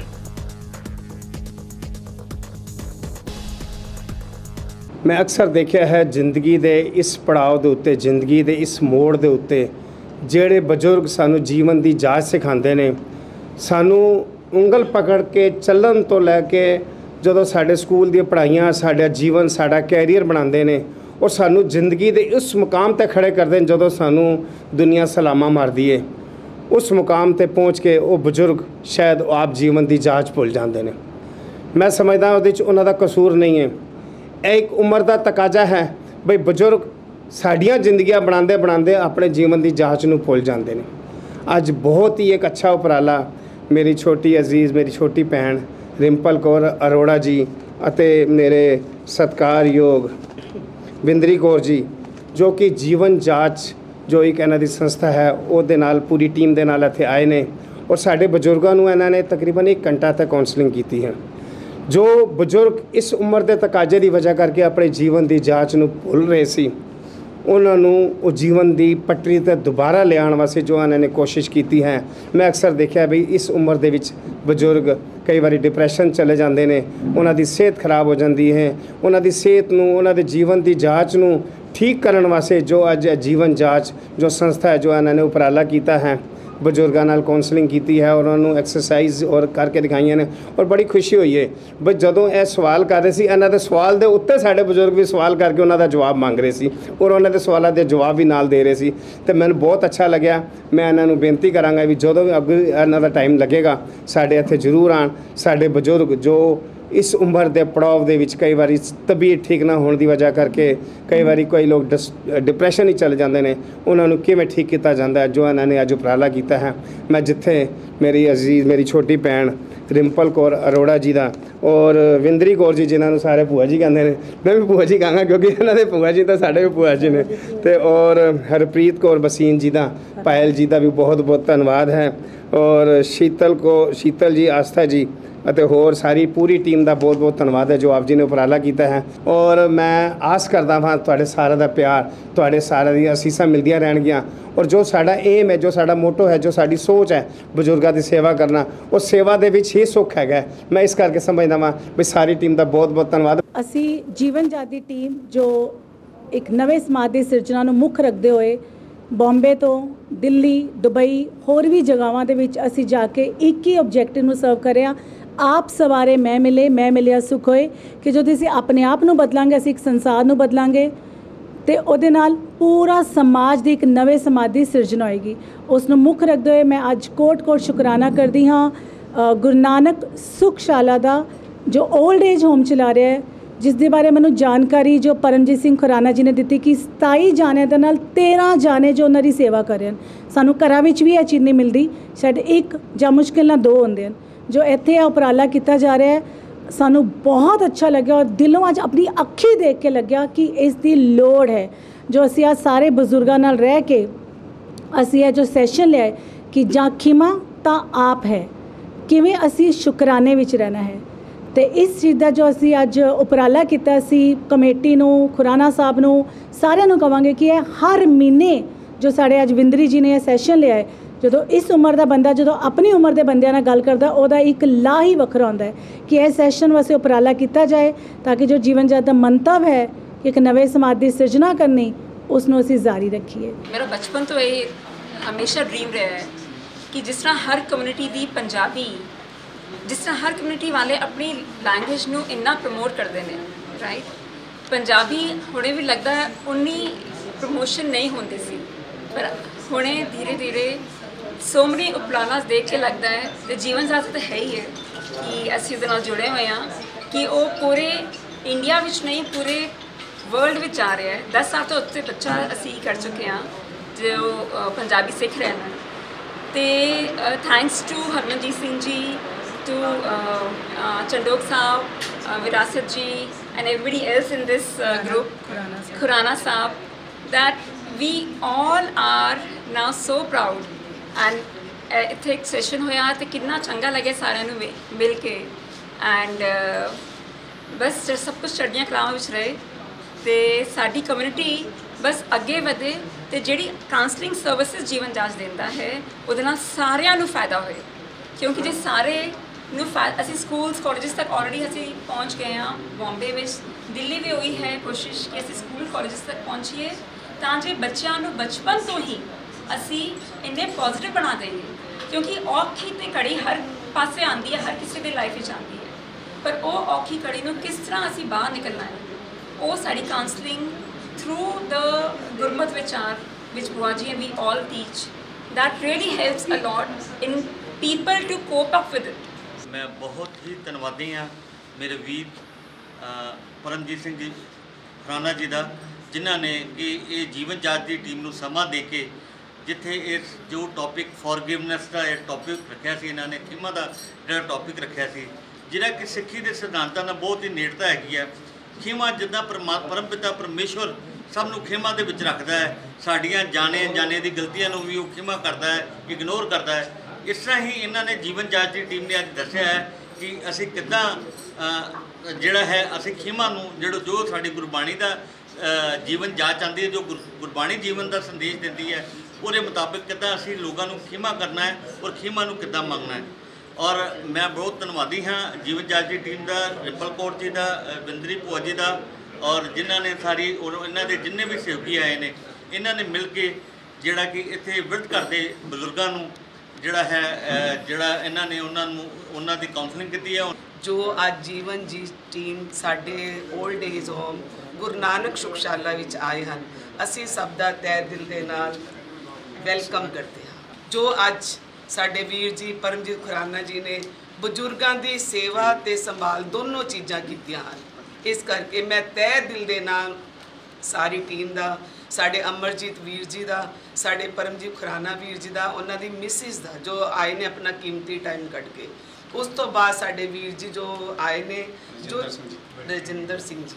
ਕਹਿਣ ਦਾ ਮਤਲਬ ਸਾਡੇ ਇੱਥੇ ਦੇ ਇੰਚਾਰਜ ਇੰਦਰ ਮੋਹਨ ਜੀ। ਅਸੀਂ ਇੱਕ ਟੀਮ ਵਰਕ ਹਾਂ। ਸਾਨੂੰ ਇਹ ਕਦੇ ਵੀ ਕੁਝ ਦਿਨੇ ਰਾਤੀ ਬੋਲਣਗੇ ਇਸ ਗੱਲ ਦਾ ਸਾਡਾ ਪ੍ਰੋਮਿਸ ਹੈ। ਜਿਸ ਟਾਈਮ ਵੀ ਸਾਨੂੰ ਆਵਾਜ਼ ਮਾਰਨਗੇ ਅਸੀਂ ਵੀ ਇਹਨਾਂ ਦੇ ਨਾਲ ਖੜੇ ਹਾਂ। ਤਖਤ ਸ੍ਰੀ ਹਰਮੰਦਰ ਜੀ ਪਟਨਾ ਸਾਹਿਬ ਵਿਖੇ ਬਾਬਾ ਬਚਨ ਸਿੰਘ ਜੀ ਕਾਰ ਸੇਵਾ ਦਿੱਲੀ ਵਾਲਿਆਂ ਵੱਲੋਂ ਬਾਬਾ ਗੁਰਨਾਮ ਸਿੰਘ ਜੀ ਦੀ ਅਗਵਾਈ ਵਿੱਚ ਗੁਰੂ ਨਾਨਕ ਦੇਵ ਯਾਤਰੀ ਨਿਵਾਸ ਦਾ ਪਹਿਲਾ ਲੈਂਟਰ ਪਾਇਆ ਗਿਆ। ਇਸ ਮੌਕੇ ਵੱਡੀ ਗਿਣਤੀ ਵਿੱਚ ਸੇਵਾਦਾਰਾਂ ਨੇ ਕਾਰ ਸੇਵਾ ਵਿੱਚ ਸ਼ਮੂਲੀਅਤ ਕੀਤੀ। ਤਖਤ ਸ੍ਰੀ ਪਟਨਾ ਸਾਹਿਬ ਹਰਮੰਦਰ ਜੀ ਕਾਰ ਸੇਵਾ ਚੱਲ ਰਹੀ ਹੈ। ਪੰਥ ਪੰਥ ਰਤਨ ਬਾਬਾ ਹਰਬੰਸ ਸਿੰਘ ਜੀ ਉਹਨਾਂ ਤੋਂ ਵਰਸਾਏ ਹੋਏ ਬਾਬਾ ਬਚਨ ਸਿੰਘ ਜੀ, ਬਾਬਾ ਮਹਿੰਦਰ ਸਿੰਘ ਜੀ, ਬਾਬਾ ਗੁਰਨਾਮ ਸਿੰਘ ਜੀ ਇੱਥੇ ਜਿਹੜੇ ਜ਼ਿੰਮੇਵਾਰੀ ਨਿਭਾ ਰਹੇ ਨੇ ਆਪਣੀਆਂ। ਇੱਥੇ ਵਾਗਰੂ ਜੀ, ਗੁਰੂ ਤੇਗ ਬਹਾਦਰ ਦੇ ਬੈਕ ਸਾਈਡ ਸਰਾਂ ਬਣ ਰਹੀ ਹੈ ਗੁਰੂ ਨਾਨਕ ਨਿਵਾਸ ਸਰਾਂ ਬਣ ਰਹੀ ਹੈ ਇੱਥੇ 70 ਕੁ ਕਮਰੇ ਵਾਗਰੂ ਜੀ ਲੈਟਰਿੰਗ ਬਾਥਰੂਮ ਅਟੈਚ ਨੇ। ਹੋਰ ਸਾਰੀਆਂ ਸੰਗਤਾਂ ਦੇ ਸੰਯੋਗ ਨਾਲ ਹੀ ਆ। ਪ੍ਰਧਾਨ ਜੀ ਉਹਨਾਂ ਦਾ ਸੰਯੋਗ ਬਹੁਤ ਹੈ ਜਨਰਲ ਸਕੱਤਰ ਇੰਦਰਜੀਤ ਸਿੰਘ ਜੀ ਉਹਨਾਂ ਦਾ। ਸਾਰੀ ਕਮੇਟੀ ਪ੍ਰਬੰਧਕਾਂ ਦਾ ਬਹੁਤ ਸੰਯੋਗ ਆ। ਸਾਰੇ ਰਲ ਮਿਲ ਕੇ ਵਾਹਿਗੁਰੂ ਜੀ ਬਹੁਤ ਸਾਰਾ ਹਲਾ ਮਾਰਨ ਡਏ ਆ ਤੇ ਕਾਰ ਸੇਵਾ ਚੱਲ ਰਹੀ ਹੈ ਵਾਹਿਗੁਰੂ ਜੀ। ਹਰ ਇੱਕ ਸੰਗਤਾਂ ਨੂੰ, ਪ੍ਰਾਣੀਆਂ ਨੂੰ ਭਾਈ ਵੱਧ ਤੋਂ ਵੱਧ ਆਪਣੀਆਂ ਨੇਕ ਕਮਾਈਆਂ ਦੇ ਹਿੱਸੇ ਪਾ ਕੇ ਜੀਵਨ ਸਫਲਾ ਕਰਿਓ, ਵੱਡੇ ਭਾਗਾਂ ਵਾਲਿਓ। ਇਹ ਜਿਹੜਾ ਲੈਂਟਰ ਪੈ ਰਿਹਾ ਅੱਜ ਵਾਹਿਗੁਰੂ ਜੀ, ਇਹ ਤੁਹਾਡੀਆਂ ਸੰਗਤਾਂ ਦੀਆਂ ਜਿਹੜੀਆਂ ਅਰਦਾਸਾਂ, ਬੇਨਤੀਆਂ ਭਾਈ ਤੁਹਾਡੇ ਸੰਗਤ ਦੇ ਸੰਯੋਗ ਨਾਲ ਹੀ ਆ, ਵਾਹਿਗੁਰੂ ਜੀ।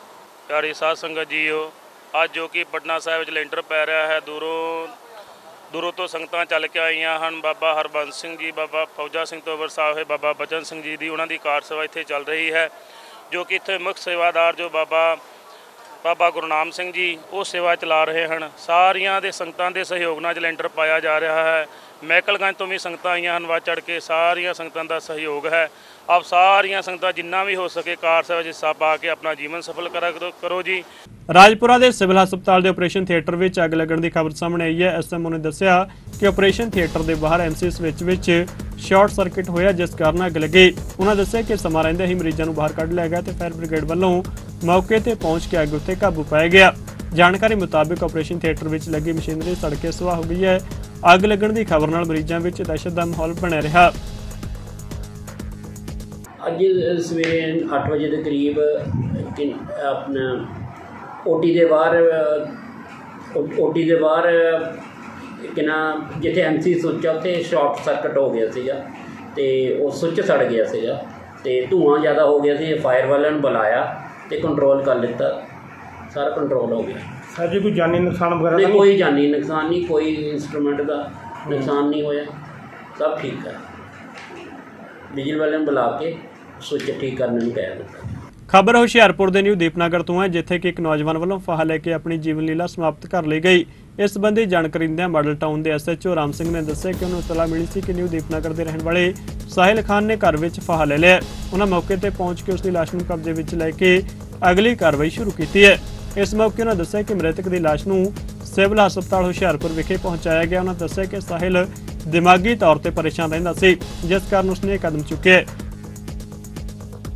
ਇਹ ਜੀ ਕੱਲ ਸਾਨੂੰ, ਇਹ ਸ਼ਾਮੀ 7 ਵਜੇ ਇਨਫੋਰਮੇਸ਼ਨ ਮਿਲੀ ਸੀ ਕਿ ਇੱਕ ਵਿਅਕਤੀ ਸਾਹਿਲ ਪੁੱਤਰ ਇਸ਼ਤਾਕ ਅਲੀ, ਜੋ ਗਲੀ ਨੰਬਰ 4 ਨਿਊ ਦੀਪਨਗਰ ਵਿੱਚ ਰਹਿੰਦਾ ਹੈ, ਜਿਸ ਦੀ ਕਰੀਬ ਉਮਰ 22 23 ਸਾਲ ਹੈਗੀ ਹੈ, ਉਸਨੇ ਫੰਦਾ ਲਾ ਕੇ ਆਪਣੀ ਜੀਵਨ ਲੀਲਾ ਖਤਮ ਕਰ ਲਈ ਹੈ।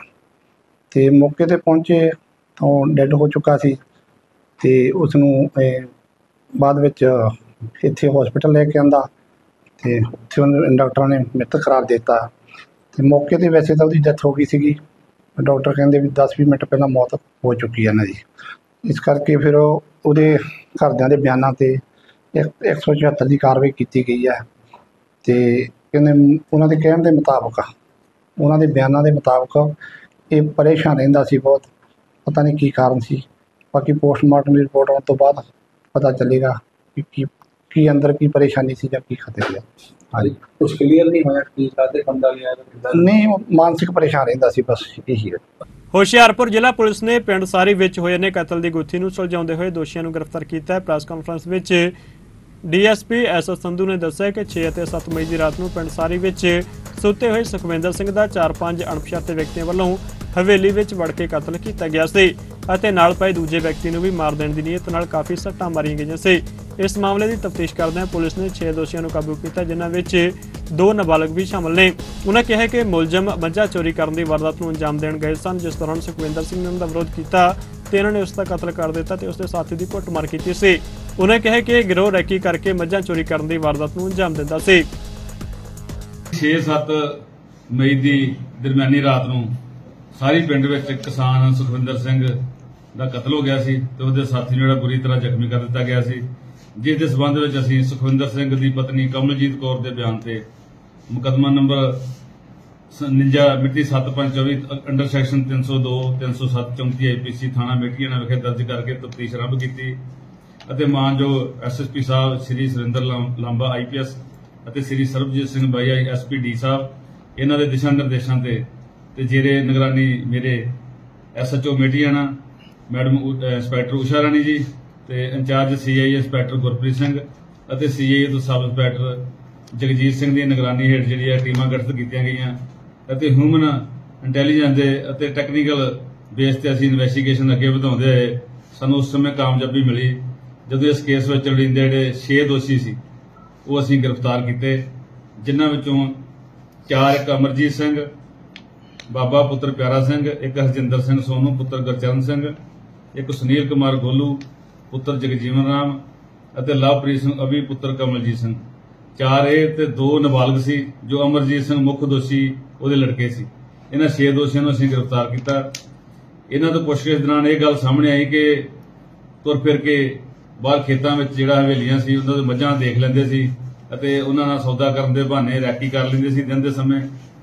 ਫਿਰ ਇਹਨਾਂ ਨੇ ਇਸ ਕਿਸਾਨ ਸੁਖਿੰਦਰ ਸਿੰਘ ਦੇ ਨਾਲ ਵੀ ਵਾਰਦਾਤ ਤੋਂ ਇੱਕ ਦਿਨ ਪਹਿਲਾਂ ਜਿਹੜਾ ਰੈਕੀ ਕੀਤੀ ਇਹਦੀ ਵੈਗ ਦੀ, ਹਵੇਲੀ ਦੀ, ਤੇ ਮੱਝਾਂ ਵੇਖੀਆਂ ਉੱਥੇ, ਮੱਝਾਂ ਕਿੰਨੀਆਂ ਮੱਝਾਂ ਨੇ ਤੇ ਕਿਵੇਂ ਕਿਵੇਂ ਸਾਰੀ ਰੈਕੀ ਕੀਤੀ। ਤੇ ਉਸ ਰਾਤ ਨੂੰ ਇਹਨਾਂ ਨੇ ਜਿਹੜਾ ਵਾਰਦਤ ਕਰਨ ਗਏ, ਉੱਥੇ ਮੱਝਾਂ ਚੋਰੀ ਕਰਨ ਗਏ। ਜਦੋਂ ਮੱਝਾਂ ਦਾ ਮਾਲਕ ਸੁਖਵਿੰਦਰ ਸਿੰਘ ਜਾਗਿਆ, ਤੇ ਇਹਨਾਂ ਨੇ ਉਹਨੂੰ ਸੱਟਾਂ ਮਾਰ ਕੇ ਮੌਕੇ ਤੇ ਦਾ ਕਤਲ ਕਰ ਦਿੱਤਾ। ਜਿਹੜਾ ਸਾਥੀ ਸੀ ਉਹਦਾ, ਉਹਨੂੰ ਬੁਰੀ ਤਰ੍ਹਾਂ ਜ਼ਖਮੀ ਕਰ ਦਿੱਤਾ। ਤੇ ਉਸੋਂ ਚਾਰ ਮੱਝਾਂ ਤੇ ਇੱਕ ਝੋਟਾ ਲੈ ਕੇ ਜਿਹੜਾ ਟੈਂਪੂ ਟਰੈਵਲ ਦੇ ਵਿੱਚ ਆਪਣਾ ਮਹਿੰਦਰਾ ਬਲੈਰੋ ਸੀ, ਉਹਦੇ ਵਿੱਚ ਲੈ ਕੇ ਉੱਥੋਂ ਚਲੇ ਗਏ। ਇਹ ਜਿਹੜੀ ਮਹਿੰਦਰਾ ਬਲੈਰੋ, ਇਹ ਕੰਟੈਕਟ ਇਹਨਾਂ ਯੂਪੀ ਤੋਂ ਮੁਜ਼ੱਫਰਨਗਰ ਤੋਂ ਕੀਤਾ ਸੀ। ਉਸ ਬੰਦੇ ਨੂੰ ਫੋਨ ਤੇ ਬੁਲਾ ਲੈਂਦੇ ਸੀ। ਉਹ ਸਕੀਨ ਬੰਦਾ, ਨਾਂ ਦਾ ਬੰਦਾ ਟਰੇਸ ਹੋਇਆ ਸਾਨੂੰ। ਯੂਪੀ ਨੰਬਰ ਗੱਡੀ ਸੀ, ਉੱਥੋਂ ਬੁਲਾ ਕੇ ਤੇ ਉਹਨੂੰ ਮੱਝਾਂ ਇਹ ਵੇਚ ਦਿੰਦੇ ਸੀ, ਸਸਤੇ ਭਾਅ ਤੇ। ਤੇ ਉਹ ਮੱਝਾਂ ਲੈ ਕੇ ਇੱਥੋਂ ਚਲ ਜਾਂਦਾ ਸੀ। ਉਸ ਰਾਤ ਵੀ ਇਹਨਾਂ ਨੇ ਯੂਪੀ ਤੋਂ ਬੰਦਾ ਪਹਿਲਾਂ ਹੀ ਬੁਲਾਇਆ ਹੋਇਆ ਸੀ। ਤੇ ਮੱਝਾਂ ਤੇ ਬੰਦੇ ਦਾ ਕਤਲ ਕਰਕੇ ਮੱਝਾਂ ਜਿਹੜੀਆਂ ਲੱਦ ਕੇ ਤੇ ਉਹਨੂੰ ਉੱਥੇ ਵੇਚ ਦਿੱਤੀਆਂ ਤੇ ਉਹਦੇ ਕੋਲ ਪਰ ਜਿਹੜਾ ਮੱਝ ਆ 10000 ਰੁਪਏ ਵਸੂਲ ਕੀਤੇ ਇਹਨਾਂ ਨੇ। ਹੁਸ਼ਿਆਰਪੁਰ ਦੇ ਸਰਕਾਰੀ ਕਾਲਜ ਚੌਂਕ ਵਿੱਚ 4-5 ਨੌਜਵਾਨਾਂ ਵੱਲੋਂ ਚੌਂਕ ਵਿੱਚ ਖੜੇ ਇੱਕ ਨੌਜਵਾਨ ਉੱਤੇ ਕਾਤਲਾਨਾ ਹਮਲਾ ਕਰ ਦਿੱਤਾ ਗਿਆ ਸੀ, ਜਿਸ ਤੋਂ ਬਾਅਦ ਨੌਜਵਾਨ ਨੇ ਭੱਜ ਕੇ ਆਪਣੀ ਜਾਨ ਬਚਾਉਣ ਲਈ ਕੱਪੜੇ ਦੀ ਦੁਕਾਨ ਦੇ ਅੰਦਰ ਸ਼ਰਨ ਲਈ, ਪਰੰਤੂ ਹਮਲਾਵਰਾਂ ਨੇ ਉੱਥੇ ਜਾ ਕੇ ਵੀ ਤੇਜ਼ਧਾਰ ਹਥਿਆਰਾਂ ਦੇ ਨਾਲ ਉਸ ਦੀ ਵੱਢ ਟੁੱਕ ਕਰਕੇ ਉਸ ਨੂੰ ਬੁਰੀ ਤਰ੍ਹਾਂ ਜ਼ਖਮੀ ਕਰ ਦਿੱਤਾ ਗਿਆ ਸੀ, ਜਿਸ ਤੋਂ ਬਾਅਦ ਉਸ ਨੂੰ ਚੰਡੀਗੜ੍ਹ ਦਾਖਲ ਕਰਵਾਇਆ ਗਿਆ, ਜਿੱਥੇ ਇਲਾਜ ਦੌਰਾਨ ਉਸ ਦੀ ਮੌਤ ਹੋ ਗਈ ਹੈ। ਹਮਲਾਵਰਾਂ ਨੇ ਫੇਸਬੁੱਕ ਉੱਤੇ ਇਸ ਕਤਲ ਦੀ ਜ਼ਿੰਮੇਵਾਰੀ ਵੀ ਲਈ ਹੈ। ਮ੍ਰਿਤਕ ਦੀ ਪਹਿਚਾਣ ਰਾਹੁਲ ਬਾਬਾ ਵਾਸੀ ਵੀਰਵਾਲ ਨਗਰ ਹੁਸ਼ਿਆਰਪੁਰ ਵਜੋਂ ਹੋਈ ਹੈ। ਉਧਰ ਪੁਲਿਸ ਨੇ ਮਾਮਲੇ ਦੀ ਪੜਤਾਲ ਸ਼ੁਰੂ ਕੀਤੀ ਹੈ। 12 5 24 ਨੂੰ ਇਹ ਚਾਰ ਪੰਜ ਮੁੰਡਿਆਂ ਵੱਲੋਂ ਸ਼ੋਰੂਮ ਦੇ ਵਿੱਚ ਜਾ ਕੇ ਪਹਿਲਾਂ ਤੇ ਉਹ ਬਾਹਰ ਹੀ ਖੜਾ ਸੀ ਲੜਕਾ ਰਾਹੁਲ ਜਿਸ ਦੀ ਹੁਣ ਡੈਥ ਹੋ ਗਈ ਆ। ਤੇ ਉਹਦੇ ਜਾ ਕੇ ਪਹਿਲਾਂ ਤਾਂ ਬਾਹਰ ਹੀ ਸਕੂਟੀ ਤੇ ਵਾਰ ਕੀਤਾ ਹੈ। ਉਸ ਤੋਂ ਬਾਅਦ ਉਹ ਇਹ, ਅੰਦਰ ਭੱਜ ਕੇ ਚਲਾ ਗਿਆ ਸ਼ੋਰੂਮ ਦੇ ਵਿੱਚ। ਸ਼ੋਰੂਮ ਦੇ ਵਿੱਚ ਚਾਰ ਲੜਕੇ ਗਏ ਨੇ, ਜਿਨ੍ਹਾਂ ਨੇ ਤੇਜ਼ਧਾਰ ਹਥਿਆਰਾਂ ਨਾਲ ਉਹਦੇ ਤੇ ਵਾਰ ਕੀਤੇ ਨੇ। ਕਾਫੀ ਜ਼ਿਆਦਾ ਸੱਟਾਂ ਲੱਗ ਗਈਆਂ। ਹਸਪੀਟਲ ਲੈ ਕੇ ਗਏ। ਸਿਵਲ ਹਸਪੀਟਲ ਦੇ ਉੱਤੋਂ ਉੱਤਰ ਡੀਐਮਸੀ ਦਾਖਲ ਕਰਾ ਦਿੱਤਾ ਗਿਆ ਰੈਫਰ ਕਰ ਦਿੱਤਾ ਗਿਆ। ਤੇ ਜ਼ਿਆਦਾ ਚੋਟਾਂ ਹੋਣ ਕਾਰਨ ਉਸ ਨੂੰ ਪੀਜੀਆਈ ਦਾਖਲ ਕਰਵਾ ਦਿੱਤਾ ਗਿਆ। ਪੀਜੀਆਈ ਵਿੱਚ ਉਹਦੀ ਕੱਲ ਦੋ ਦੇ ਕਰੀਬ ਦੁਪਹਿਰ ਨੂੰ ਮੌਤ ਹੋ ਗਈ। ਟਾਂਡਾ ਦੇ ਪਿੰਡ ਤਲਵੰਡੀ ਡੱਡੀਆਂ ਵਿੱਚ ਚੋਰੀ ਦੇ ਮਾਮਲੇ ਵਿੱਚ ਨਾਮਜ਼ਦ ਮੁਲਜ਼ਮ ਨੂੰ ਪੁਲਿਸ ਨੇ ਕਾਬੂ ਕੀਤਾ। ਇਸ ਸੰਬੰਧੀ ਜਾਣਕਾਰੀ ਦਿੰਦਿਆਂ ਥਾਣਾ ਮੁਖੀ ਟਾਂਡਾ ਐਸਆਈ ਰਮਨ ਕੁਮਾਰ ਨੇ ਦੱਸਿਆ ਕਿ ਕਾਬੂ ਕੀਤੇ ਗਏ ਮੁਲਜ਼ਮ ਦੀ ਪਹਿਚਾਣ ਰਣਜੀਤ ਸਿੰਘ ਵਜੋਂ ਹੋਈ ਹੈ, ਜਿਸ ਦੇ ਖਿਲਾਫ ਅਮਰੀਕ ਸਿੰਘ ਦੇ ਬਿਆਨ ਦੇ ਆਧਾਰ ਉੱਤੇ ਮਾਮਲਾ ਦਰਜ ਕੀਤਾ ਗਿਆ ਸੀ। ਉਹਨੇ ਕਿਹਾ ਕਿ ਇਸ ਉੱਤੇ ਦੁਕਾਨ ਦੇ ਜਿੰਦਰੇ ਨੂੰ ਤੋੜਨ ਦੀ ਕੋਸ਼ਿਸ਼ ਕਰਨ ਅਤੇ ਇੱਕ ਘਰ ਵਿੱਚ ਬਣੇ ਮੰਦਰ ਵਿੱਚੋਂ ਚੜਾਵਾ ਰਾਸ਼ੀ ਅਤੇ ਹੋਰ ਸਮਾਨ ਚੋਰੀ ਕਰਨ ਦੇ ਦੋਸ਼ ਲੱਗੇ ਨੇ। ਉਹਨੇ ਕਿਹਾ ਕਿ ਮਾਮਲੇ ਵਿੱਚ ਬਣਦੀ ਕਾਨੂੰਨੀ ਕਾਰਵਾਈ ਕੀਤੀ ਜਾ ਰਹੀ ਹੈ। ਟਾਂਡਾ ਵਿਖੇ ਹਾਈਵੇ ਉੱਤੇ ਪਿੰਡ ਚਲਾਂਗ ਟੋਲ ਪਲਾਜ਼ਾ ਨਜ਼ਦੀਕ ਅੱਜ ਦੁਪਹਿਰ 2:30 ਵਜੇ ਦੇ ਕਰੀਬ ਇੱਕ ਚੱਲਦੀ ਕਾਰ ਨੂੰ ਅਚਾਨਕ ਅੱਗ ਲੱਗੀ। ਕਾਰ ਸਵਾਰ ਚੰਡੀਗੜ੍ਹ ਤੋਂ ਜੰਮੂ ਜਾ ਰਿਹਾ ਸੀ ਤਾਂ ਅਚਾਨਕ ਕਾਰ ਨੂੰ ਅੱਗ ਲੱਗੀ ਹੈ। ਗਰੀਮਤ ਇਹ ਰਹੀ ਕਿ ਡਰਾਈਵਰ ਸੁਰੱਖਿਅਤ ਬਾਹਰ ਨਿਕਲ ਆਇਆ। ਅਗਜਨੀ ਦੀ ਘਟਨਾ ਕਾਰਨ ਕਾਰ ਵਿੱਚ ਸਵਾਰ ਗੁਰਦੀਪ ਸਿੰਘ ਦਾ ਲੈਪਟਾਪ ਅਤੇ 50000 ਰੁਪਏ ਦੀ ਨਕਦੀ ਤੇ ਹੋਰ ਸਮਾਨ ਸੜ ਕੇ ਸੁਆਹ ਹੋ ਗਿਆ। ਸੜਕ ਸੁਰੱਖਿਆ ਫੋਰਸ ਦੀ ਟੀਮ ਨੇ ਮੌਕੇ ਤੇ ਪਹੁੰਚ ਕੇ ਲੋਕਾਂ ਦੀ ਮਦਦ ਨਾਲ ਅੱਗ ਉੱਤੇ ਕਾਬੂ ਪਾਇਆ ਤੇ ਤਬਾਹ ਹੋਈ ਕਾਰ ਨੂੰ ਸੜਕ ਤੋਂ ਹਟਵਾਇਆ। ਪੰਜਾਬੀ ਖਬਰਾਂ ਦੇ ਇਸ ਬੁਲੇਟਿਨ ਵਿੱਚ ਫਿਲਹਾਲ ਨਹੀਂ ਜਾਂਦੇ ਆਂਦੇ ਨਜ਼ਰ ਮਾਰਦੇ ਹਾਂ ਮੌਸਮ ਦੇ ਹਾਲ ਤੇ। ਤੁਸੀਂ ਬਣੇ ਰਹੋ ਚੜ੍ਹਦੀ ਕਲਾ ਟਾਈਮ ਟਿਪ ਦੇ ਨਾਲ। ਧੰਨਵਾਦ।